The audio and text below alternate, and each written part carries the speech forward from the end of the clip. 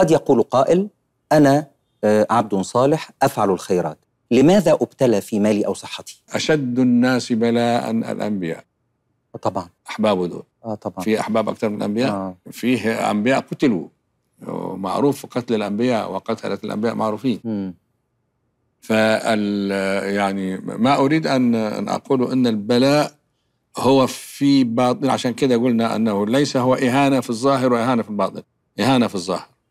ولكنه في الباطن إكرام شديد. آه. يعني هل ربنا يهين ال- ال- الأنبياء؟ هل يهين الأولياء؟ مستحيل. أشد الناس بلاء الأنبياء؟ ثم الأمثل فالأمثل الافضل فالأفضل. ده بالعكس يعني كلما كان الإنسان بعيد عن الله يكون بعيد عن الابتلاء. إنما لأنه طبعا إذا أحب عبدا ابتلاء عندنا نصوص الدنيا. لأن الدنيا لا تزن عند الله جناح بعوضة. و- وفي أحاديث. لو كانت الدنيا تزن عند الله جناح بعوضة ما سقى كافرا منها جرعة ماء. مم. هنا لازم نفهم البلاء في أنه ورد في تحت عباءة العدل فهو ليس ظلما.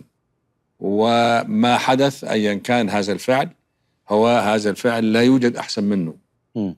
فهذا هو الذي نريد أن نقوله. إن الابتلاء صورته صورته إهانة.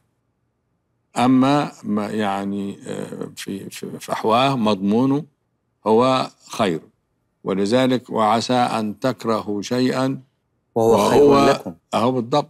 هو يكره المرض يكره الفقر. مم. لكن ربنا وبعد ربنا يعني لفت نظرنا مش يعني مش سابنا كده نستنبط ولا نستنتج ده نزل نصوص. وعسى أن تكرهوا شيئا وهو خير لكم. عاوزين نركز أن ال- الابتلاء فيه لمسة كرم خفية. ولا تظهر يعني قد تظهر في الدنيا قد تظهر في الآخرة. لأن مثلا في ناس ربنا يب- يبتليها أو يصيبها بابتلاء وهم صالحين لمنازل في الجنة عليا. لا يصل إليها إلا عن هذا ال ال آه. ال الطريق. الله سبحانه وتعالى نبهنا أيضا إلى أن لا تفزعوا من البلاء. يعني أن و- تكرهوا حاجة يعني الحاجة دي وعسى أن تكرهوا شيئا ويجعل الله فيه خيرا كثيرا. يعني تعجب من أن يكون الخير في ال- البلاء. فحينما يريد الله سبحانه وتعالى البلاء لا يريده لظاهره اللي هو يبدو كأنه شر وإنما يريده لما فيه من خير.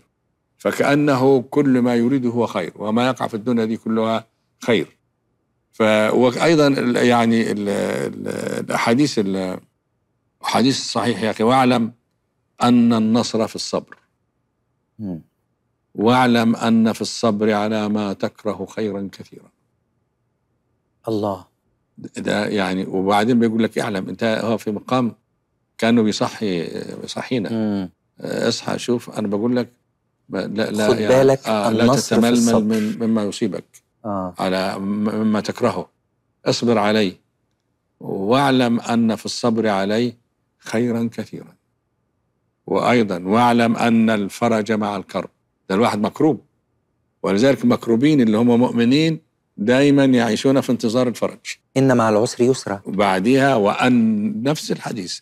وأن مع العسر يسرا. يا الله. إذا حين يبتلى المؤمنون بالقتل أو بكذا أو بكذا أو بالتجويع لا يعني آه، نعتقد أن هذا إهانة من الله لهم وأن الله سبحانه وتعالى تخلى عن عطفه على أحبابه وعلى عباده ال- المؤمنين. بالعكس قد يكون هذا يعني أو بالضرورة أن هذا له نتائج طيبة جدا تعود على هؤلاء الناس اللي هم قدموا أرواحهم وقدموا آه، أو على بلادهم أو على أسرهم أو على عائلاتهم إلى آخره أو على القضية ككل.